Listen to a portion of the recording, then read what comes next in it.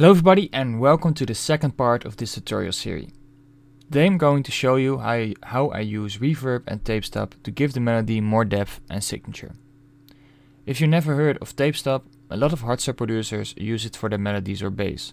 I know for example that Sub-Zero Project, Adrenalize and Keltek use it for their productions. dBlue Tape Stop recreates the time stretch sound that happens when you press the stop button. And the beautiful thing is that it's a free effect plugin. So, I will drop a link in the description.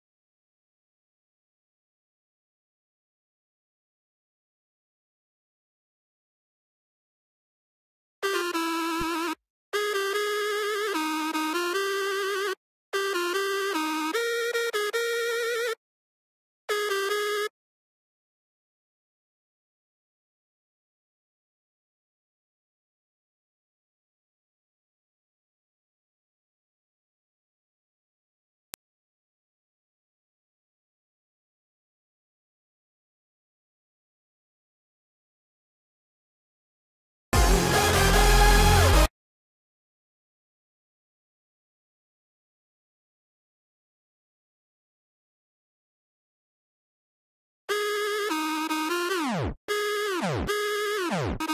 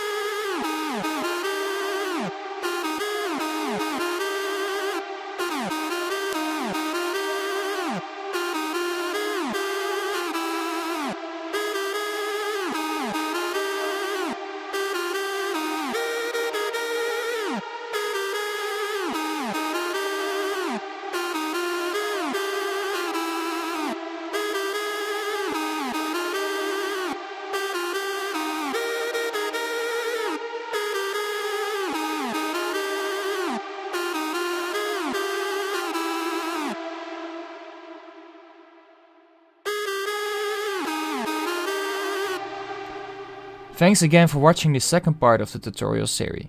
Next up, leads.